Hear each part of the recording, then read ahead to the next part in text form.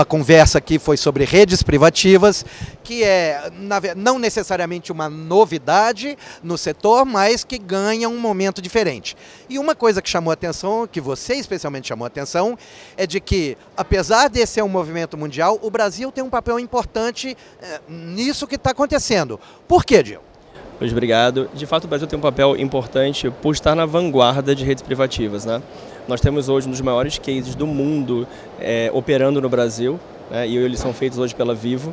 São cases, um de óleo e gás, que é a Petrobras, uma rede privativa onshore e offshore, e outro um, ah, com a Vale, tanto para Minas quanto para ferrovias. Isso credencia a gente pelo tamanho dessas redes e a forma como elas são operadas como um dos principais players no mundo em termos de redes privativas. E por que isso é importante?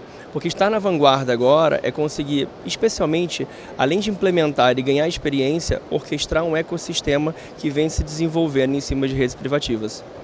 Falou-se muito de, de que esse é um ecossistema, até por ser, ter alguma novidade nele e, e mudança tecnológica, ainda está muito fragmentado. Mas uma coisa que aparentemente muitos defenderam, pelo menos, se não todos, é que existe um papel natural das operadoras nesse mercado, né? Como integradores disso, apesar de certos outros atores estarem tentando. Como é que você vê isso? É, é, é natural que as operadoras sejam o integrador desse modelo de rede privativa? Acho que sim, acho que é natural. Nós, inclusive, na Vivo, já nos posicionamos como orquestradores dessas soluções, orquestradores desses ecossistemas. Por quê? Tudo que você vai desenvolver vai estar em cima dessa rede privativa.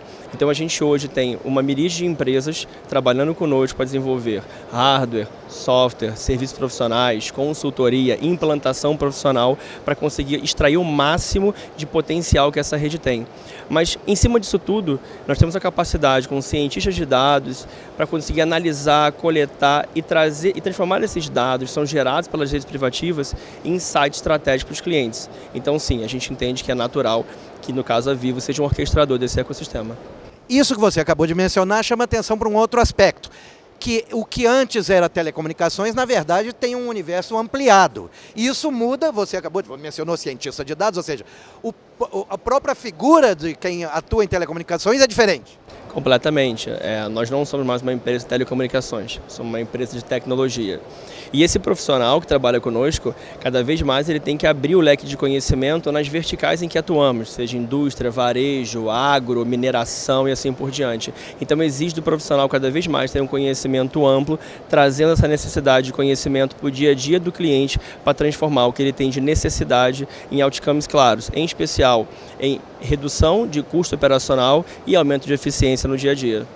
Agora, mencionamos casos emblemáticos, do, as duas maiores redes privativas do mundo estão no Brasil, operadas pela Vivo, mas é possível imaginar que, esta, que este modelo, que este serviço, que as redes privativas possam alcançar outros níveis de empresa, empresas médias, empresas menores, podem ver em redes privativas uma solução também para elas? Ou isso é algo muito ligado a grandes empresas? Não só é possível, como já está acontecendo. O que nós fizemos aqui foi investir numa infraestrutura que pode ser fragmentada, que nós chamamos de pacotes PMG, ou seja, o pequeno, médio, grande. E você tem aqueles um pouco mais customizados, são para empresas muito grandes. Mas a nossa, o nosso grande objetivo é fornecer redes privativas para qualquer tamanho de empresa. É, e, obviamente, adaptando para a necessidade do cliente. Mas eu não acho que a futurologia me parece bastante realidade já, e na Viva a gente está oferecendo isso hoje.